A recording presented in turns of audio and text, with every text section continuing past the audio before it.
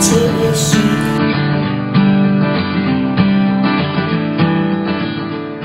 各位朋友，大家午安。那这个礼拜呢，要跟大家呃讨论的是植发术前术后的一些非药物的治疗。那呃，植发术前术后有没有什么可以做的？那很多人对于说呃植发这件事情很有，已经很有，就是说基本的概念，他们知道说我们就是把永久发的毛囊从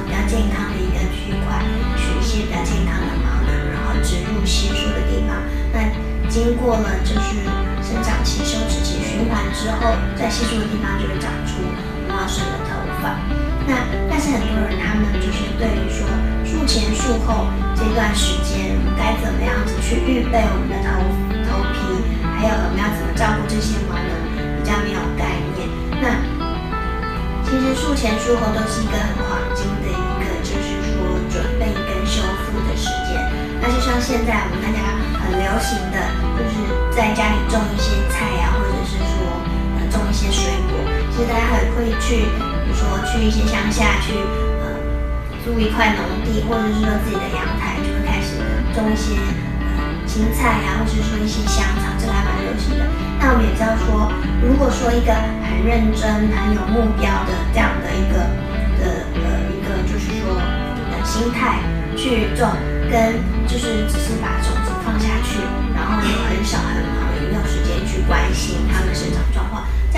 出来的这些植物啊，跟这个结果应该是会差很多的吧。所以说，就是给我们概念，就是说我们就是可以做一些规划，在我们术前术后的时候，在头皮的状况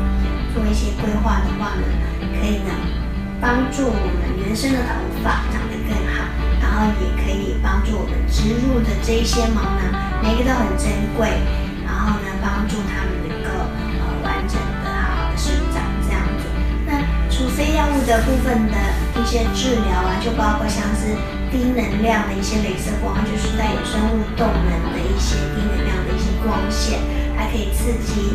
呃这些生物的一些活性，所以呢可以让头发呃活，就是说代谢活性增加，可以生长得更好。那除了这种低能量的镭射之外呢，也有考虑像是比如说像是自体的生长因子，或者是说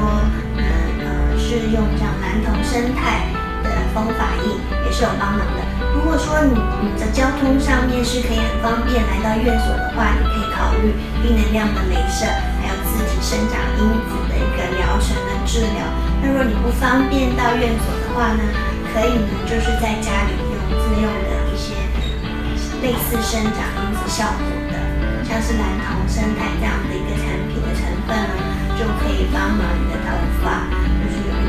比较好的一个生长的环境。就是帮忙帮助你的头皮能够就是具有比较多的营养、比较多的养分跟一些生长的动能，来支撑我们植入的头发以及鼓励原生发的生长。我对以上的影片内容有任何的疑问，或是想要更了解的地方，可以在影片下面留言，My Hair 的医疗团队都会及时为您解答哦。